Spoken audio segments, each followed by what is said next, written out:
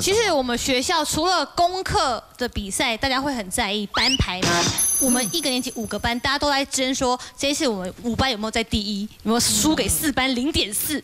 除了这个之外，大家虽然都是女生，可是对于运动这种比赛的项目也都会超级在意，因为这种时候就是如果你功课上你已经班排名你输给了这一班喽，你这这个篮球比赛就是绝对不能输，拉拉队也绝对不能输，一定要拿第一争第一的这种。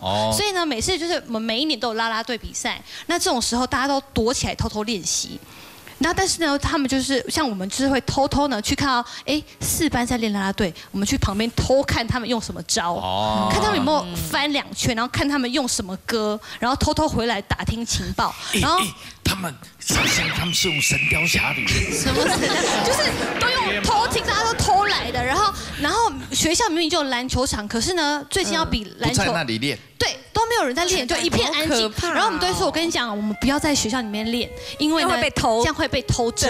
我们去成大的那个操场的篮球练。没想到在成大遇到四年三班。对，没想到去成大，满满的都是我们学校的人在那边练球，大家都躲到别的学校去练，你知道吗？就是大家都会很想要赢，就是那好胜心很强。爱雨莎也遇过这种。我们学校也会一直办一些篮球比赛啊，还是羽毛球比赛那一种。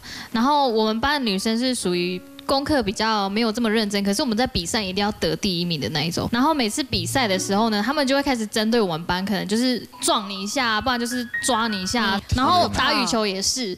他们直接攻击你的脸，啊，就拿羽球拍直接打你的脸，不是，不是，没有这么直接，球杀球，杀球直接都攻你的脸这样。对呀，真是见了个鬼啊，有没有？好恐怖哦！像我们打篮球也是，就是女生真的是没在没就比男生还狠，就对，就是干拐子啊，或者是整个抓，就对头发绝对是会被抓跟几几个下来。然后你你今天这个装扮比较像人间四月天的。对呀，好像的，对，林徽因。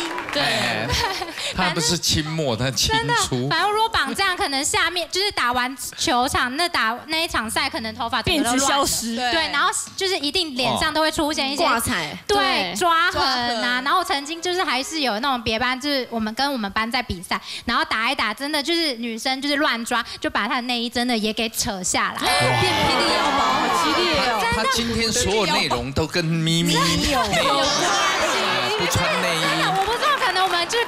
的地方很明显吧，那就是整个就是头，要不就是身体，然后乱抓，真的就是好惨哦。